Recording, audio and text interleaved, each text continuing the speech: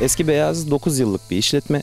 Biz 3 kuzen olarak kurumsal hayatta senelerce çalışıp sonrasında e, bu tarz bir işe yönelerek e, burayı işletme kararı aldık ve bir yıldır e, buradayız. Yani daha doğrusu bu sene içerisinde bu sezona giriş yaptık.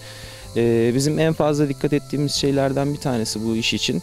E, öncelikle Olimpos'ta hani e, gelen misafirlerin neye dikkat ettiğini e, süzmek ve ona göre onu anlamaya çalışmak oldu. E, ilk dikkat ettikleri genellikle e, durum te- temizlik, kalınan yerin temizliği ve e, verilen gıda ürünleri oldu.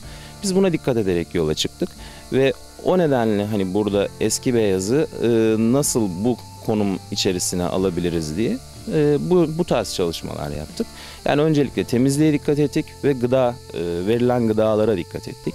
Bunun içinde özellikle e, hani kahvaltıda veya yemeklerimizde verdiğimiz ürünleri hep annelerimizin yaptığı reçeller veya onların yapmış olduğu e, ürünlerle e, buraya getirerek süsledik ki e, pek çok ürünümüz yaklaşık %80 ürünümüz hepsi annelerin elinden geçme veya memleketten köyden gelme ürünler olarak sunuyoruz.